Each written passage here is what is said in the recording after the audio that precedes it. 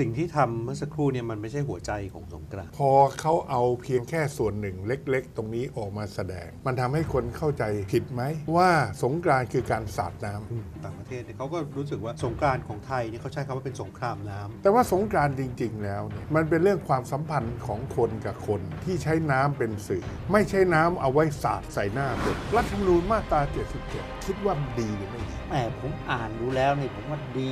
มาก ๆ เลยวรรคสองที่กำลังมาพูดกัน ผมเห็นว่าดีมาก ในหลักการทุกอย่างดีหมดต้องฟังเสียงพวกประชาชนจะต้องถูกบังคับใช้กฎหมาย ทุกคนจะอ้างไม่รู้กฎหมายไม่ได้ น่าเสียดายอย่างว่าทำไมเขาไม่ใช้คำว่าต้องรับฟังความเห็น แต่ใช้คำว่าพึง ก็คำว่าพึงเนี่ยวิทยเองเขาเลยบอกว่า มันอ่อนไปหน่อย เขาอาจจะไปตีความว่า พึงแปลว่าควรไม่ได้บังคับ เพราะฉะนั้นก็ไม่ต้องทำโอ้ถ้าสนชไปคิดอย่างนั้นนะผมคิดว่าสนชจะเป็นตัวอย่างที่เลวสำหรับสภาในอนาคตที่จะเดินต่อไปทำไมอาจารย์พูดแรงเอ๊ะทำไมได้ยินมาว่าผู้ใหญ่บ้านตกลงให้เป็นอยู่จน 60 เลยไม่ได้เลือกเหมือนกำนันล่ะ เพื่อเป็นการประนีประนอมไม่อยากหักดำพร้าด้วยเขายอมเสียหลักการอย่างนั้นยเหรอมเสียหลักการ